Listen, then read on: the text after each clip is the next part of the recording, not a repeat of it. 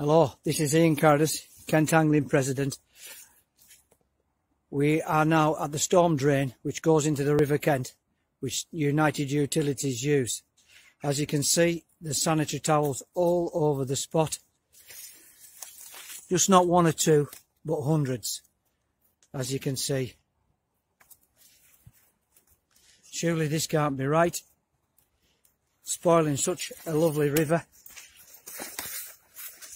sanitary towels on the floor everywhere. Towels in the trees. All over. Durex is hanging from the trees as well and the branches. As you say this needs reporting. Thanks very much